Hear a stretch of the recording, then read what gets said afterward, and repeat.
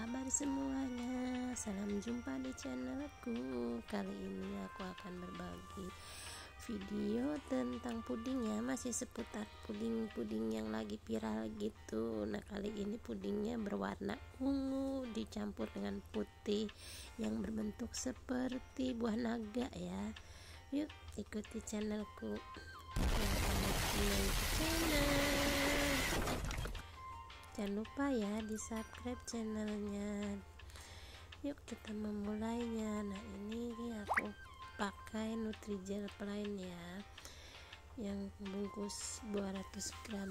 Nah ini aku campur SKM satu bungkus ya atau susu kental manis berwarna putih. Ya, kalau sudah pakai susu kita tidak perlu menggunakan gulanya lagi ya. Nah ini aku campur dengan Indomil cair ya susu cair ya. Nah, kita tambahkan sedikit air lagi. Ini untuk membentuk warna putihnya ya terserah momi mau dipakai apa warna putihnya ya terserah ya opsional saja. Nah ini kita aduk sampai merata seperti ini. Sebelum kita panaskan ya atau kita rebus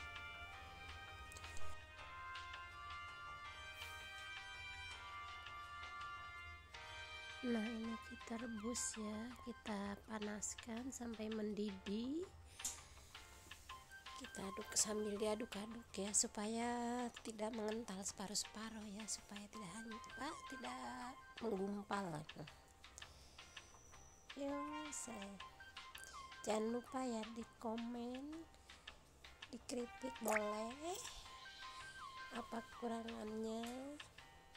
Jangan lupa juga like-nya dan subscribe-nya ya. Nah ini sudah mulai mengental seperti ini ya. Udah mulai nah ini kita kasih apa selasih ya yang sudah direndam. Untuk membentuk supaya jadi biji-bijinya seperti itu ya bunda.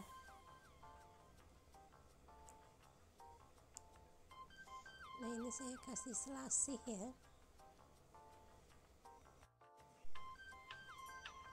sambil diaduk-aduk lalu kita siapkan cetakan seperti ini. Cetakan berwarna bulat ya ini yang ukuran kecil ya. Nah sini kita isi semua cetakannya. Seperti ini.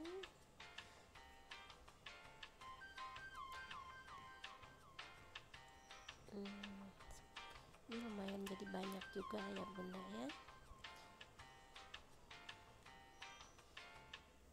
bisa juga buat ide jualan atau buat cemilan di rumah kalau kita lagi nonton TV atau sedang iseng-iseng pengen buat yang dingin-dingin gitu.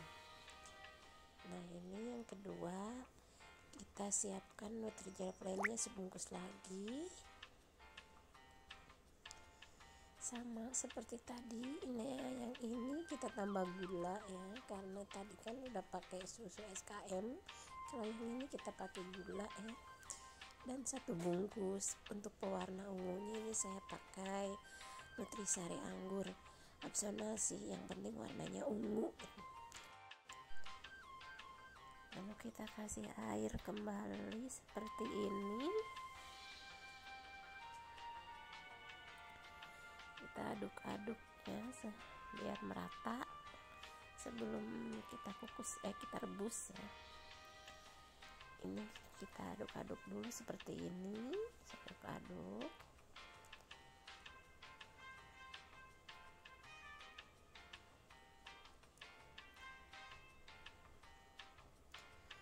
Lalu kita panaskan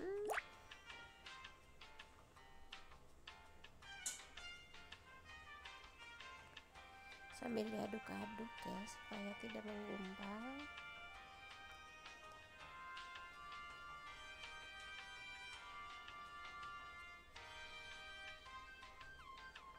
Nah, ini setelah matang seperti ini kita angkat ya.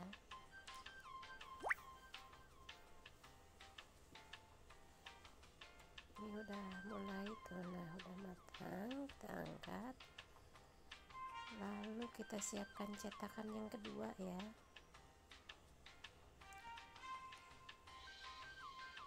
Lalu kita isi tapi sedikit saja isinya ya. Seperempat dari cetakan saja. Lalu kita isi semua ini ya sampai selesai. Semua terisi cetakannya. ya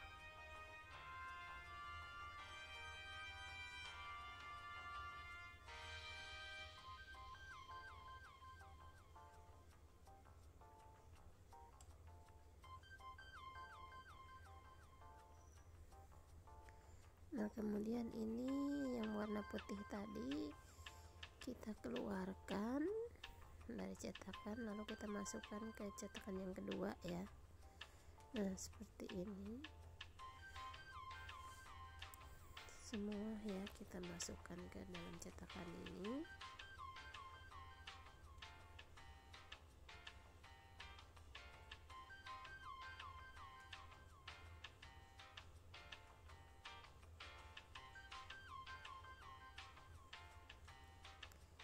kita isikan semuanya.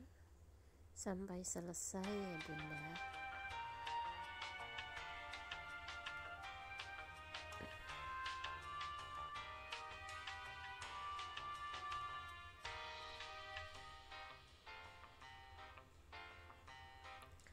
Nah lalu kita tambahkan lagi di atasnya untuk perkat ya supaya nempel ya kita tambahkan lagi di atasnya semuanya kita isi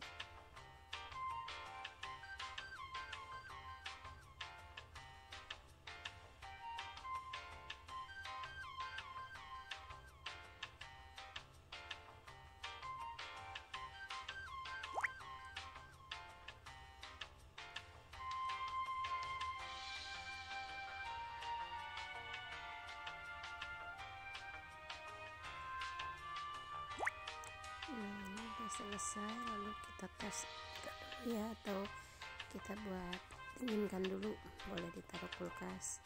Nah setelah dingin ini kita masukkan ke sini ya ke cetakan kedua ketiganya.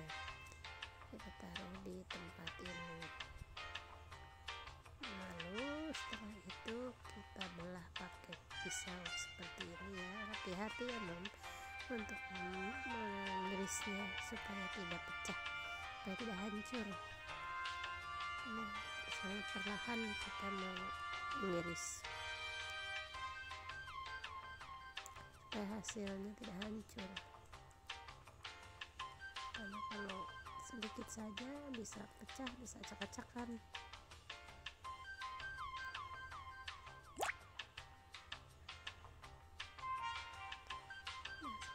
ini lakukan semua sampai selesai